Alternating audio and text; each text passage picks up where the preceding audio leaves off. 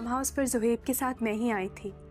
तंज करना तो तुम्हारी आदत बन चुकी है पर आज पता चल गया है कि उस दिन फार्म हाउस तुमने सारी हदें पार कर दी हैं शीना। तुम अपनी बीवी से झगड़ा करके आ रहे हो ना? इतनी बद इखलाकी इतनी बदलिहाजी लिहाजी मेरे अलावा कोई और होता ना ना जाने क्या कर बैठता।